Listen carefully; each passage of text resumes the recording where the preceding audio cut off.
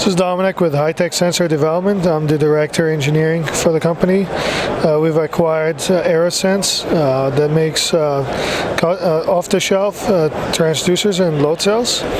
Um, what, this is what we're showing here from very different scales and capacities. We have some S cells that we produced.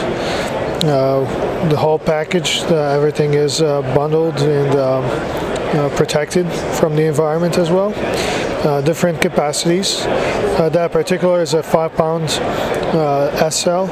Can go down to one pound all the way to grams measurements uh, for various applications in industries, uh, for medical all the way to um, uh, oil industry as well. well we can also uh, do high temperature applications up to 550 degrees Fahrenheit uh, using the same technology, um, uh, using uh, foil strain gauges, using Karma uh, gauges. for various temperatures and temperature compensation.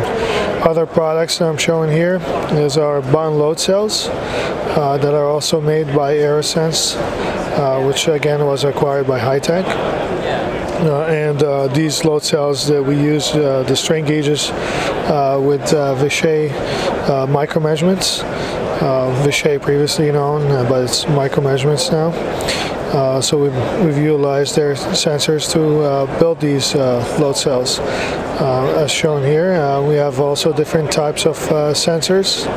Um, capacity two, two kilonewtons load cell, as shown here.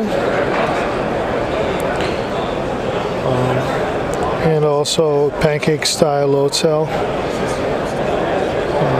that we have here with the hermetically sealed uh, with the connector uh, on top.